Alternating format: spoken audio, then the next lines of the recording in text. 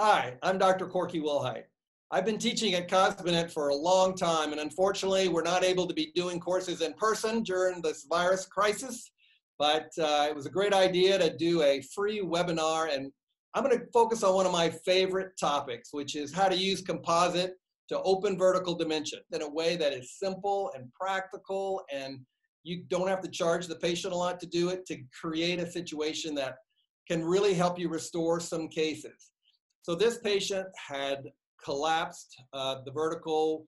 You can see how those upper teeth were flaring out, lots of wear on the lower teeth. And to be able to achieve a good result, required opening the vertical to gain the space. And so you can see how the lower teeth also look much better and more natural with the composite that's been added to the incisal edges of the anterior teeth and to the buccal cusp tips of the posterior teeth. So this is exactly the sort of thing that we'll go over on the webinar.